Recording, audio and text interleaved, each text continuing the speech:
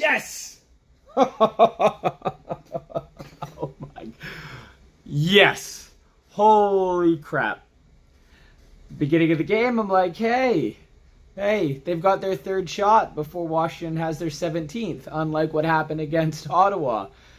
And this game was buggered. Buggered from the from the beginning.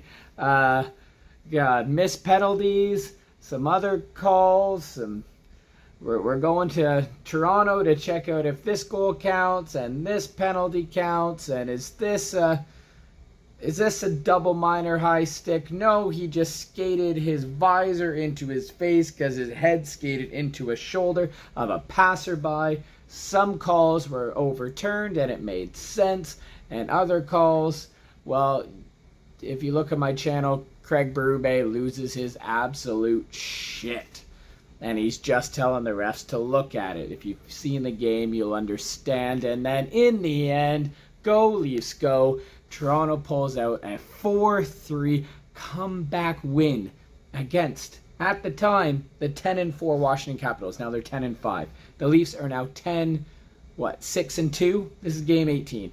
Holy crap. Um, the game just finished. I'm I am so tired, but I got to make this because I will forget otherwise, or it'll be tomorrow. and It'll be too late, and, and my hype will be gone. My excitement. Um, Washington scored first to make it it one nothing. I don't even remember how the goal went in, if I'm going to be completely honest with you.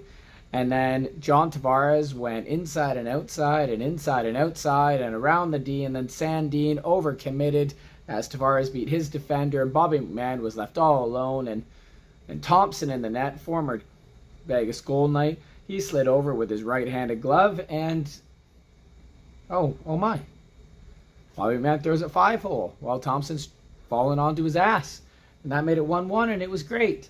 And then what was the was the first goal? Did it did it go off Domi a leaf? I think the first goal was off a leaf. It was Raddysh. That's what happened.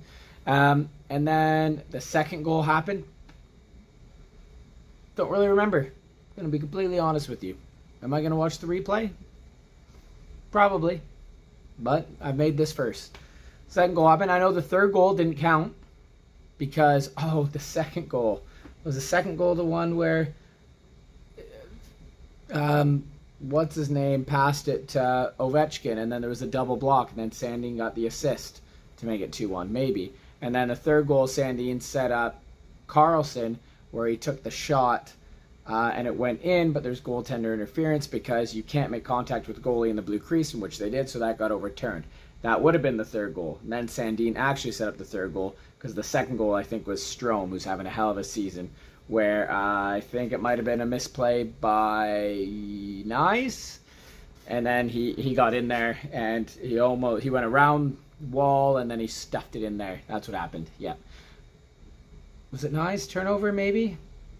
OEL lost his man, Tavares lost his man, and Strome got in all alone. That's that's what I remember off the top of my head. God, this this visual I'm trying to give, just just watch the highlights because this has been terrible.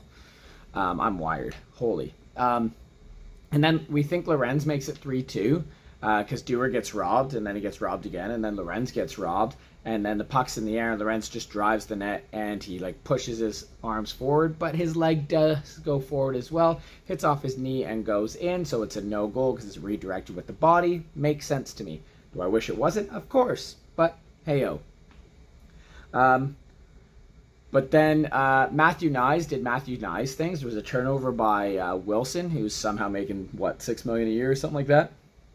Over five is too much. Um, and Knies goes in and he's going, he's just triple deking, quadruple deking. Uh, and then he hits the post, but William Nylander's there because he stays in front of the net because William Nylander remembers, like, oh yeah, I've scored a lot of goals just in front of the net. So he does. He scores for his, what, 12th of the season, I think. He's tied for the lead with Caufield and Draisaitl and Reinhart, if I remember correctly, they said on the broadcast. And that made it 3 2. And then right after that, Matthew Knies with the tip. And they call it no goal right away because they say it's high sticking. And then, like, one replay, you're like, okay, his stick was above the crossbar, but as he came down, he made contact. It looked like it was below when he made contact. The referees, I don't even think they went to Toronto for this one. They just kind of looked at it and said no goal because they already called it no goal. And Berube lost his crap.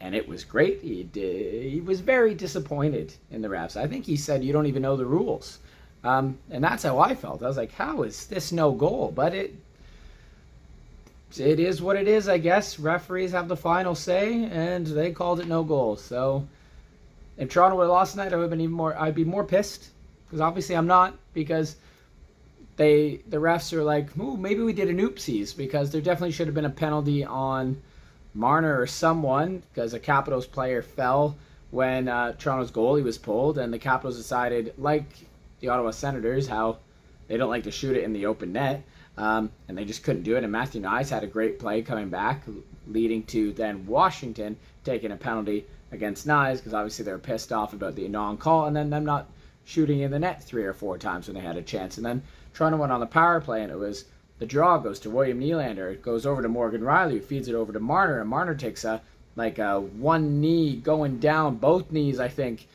and he, he roofs it, and that made it 3 3, and it was great. Then it went to overtime, and it was chaos, utter chaos. Marner got a one to one bit at one point. I think Knies had to go. Carlson hit the post.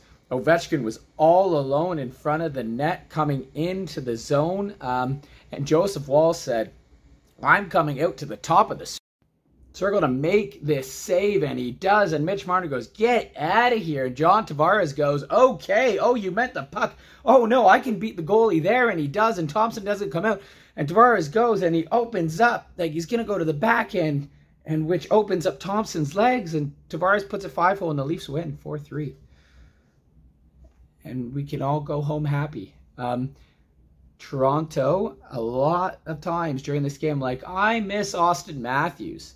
And even after this win, I miss Auston Matthews.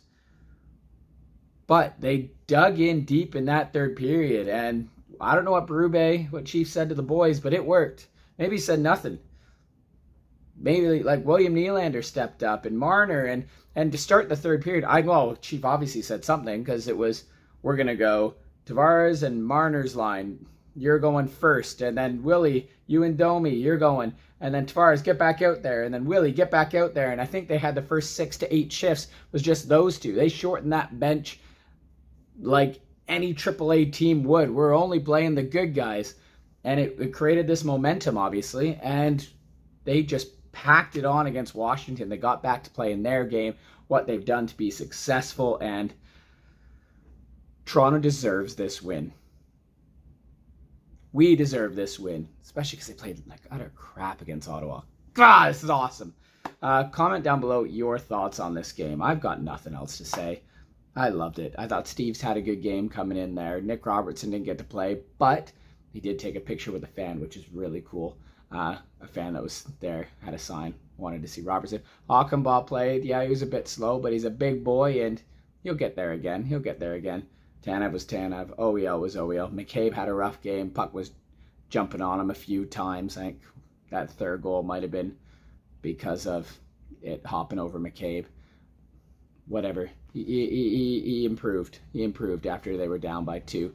Um, Tanev was Tanev, and Joseph Woll made that huge save on uh, on Ovi at the end, and he gave Toronto a chance to win. Exactly what uh, needed to be done. I can go to bed happy. Take care, everyone. See you next one. Go Leafs, go. Oh my God, that's so cool. Freaking right, Toronto.